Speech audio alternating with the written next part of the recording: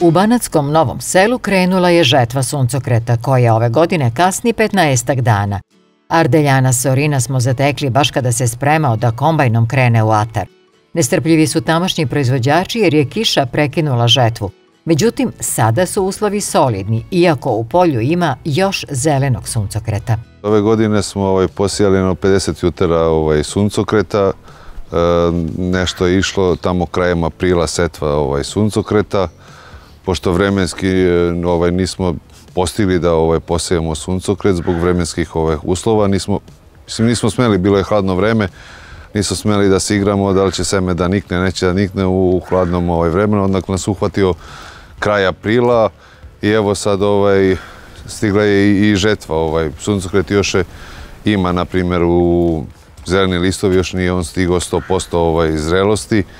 Još ovaj, neke nive su ovaj, koje su Znači, da kažemo, za žetvu možda su neke i bolesne, znači one koje se kombajnirale pre dve, tri nedelje.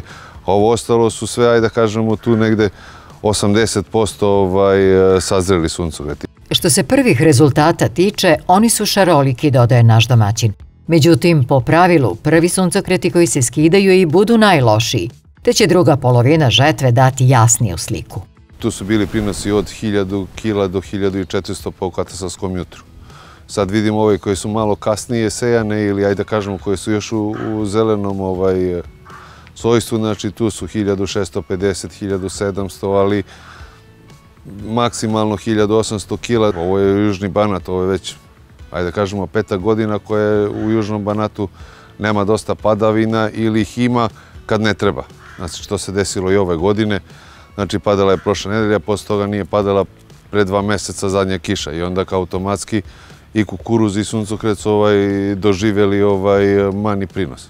Znači mi imamo manji prinos, to je definitivno. Naš domaćin ove godine pod suncokretom ima oko 50 jutara, a kako kaže, suncokret seje zbog plodoreda jer ga radi u tropolju. Kukuruz, suncokret, pšenica. Ovde u Banackom Novom selu poljoprivrednici su ove godine posejali manje površina pod suncokretom, a razlog je prošla godina koja je bila veoma neizvesna kad je u pitanju ova uljarica. U globalu poljoprivrednici su ove godine ovaj, smanili ovaj, e, da kažemo površine pod suncokretom upravo zbog e, prošlogodišnjih cena koje se nije znalo do, do ajde da kažemo, do i posle kraja ovaj, žetve suncokreta, posle mesec dana mi nismo znali koja će cena suncokreta biti. Ove godine je ta druga priča.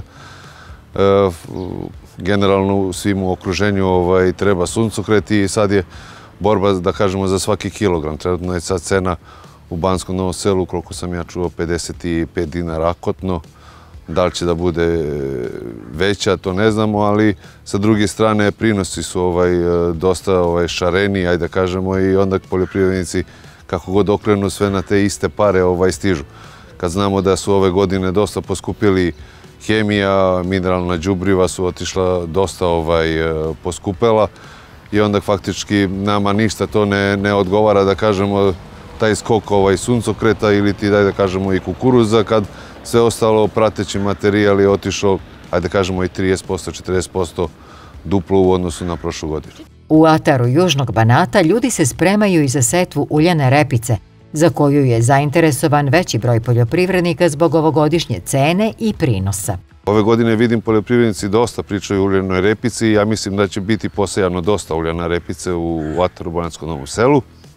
Upravo zbog toga, zbog tog četvrtog plodoreda koji nam ovaj, fali, ja mislim da će ove godine biti posejano dosta uljene repice. A i žetva i setva iziskuju veliku potrošnju goriva, čija cena raste, tako da je i to jedan segment proizvodnje koji i tekako pojede dobar deo zarade. Gorivo generalno nas poljoprivrednike ovaj, dosta znači.